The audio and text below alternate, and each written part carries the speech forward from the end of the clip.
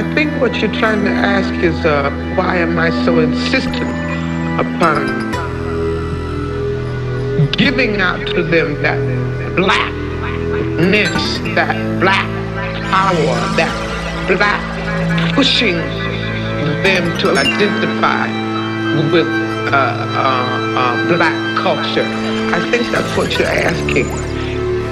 I have no choice over. In the first place, to me, we are the most beautiful creatures in the whole world, black people. I mean, and I mean that in every every sense, uh, outside and inside.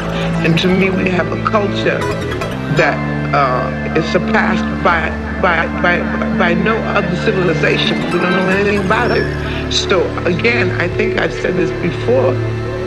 My my job is to somehow make them curious enough or persuade them by hook or crook to get more aware of themselves and where they came from and what they are into and what is already there, just to bring it out. This is what compels me to compel them.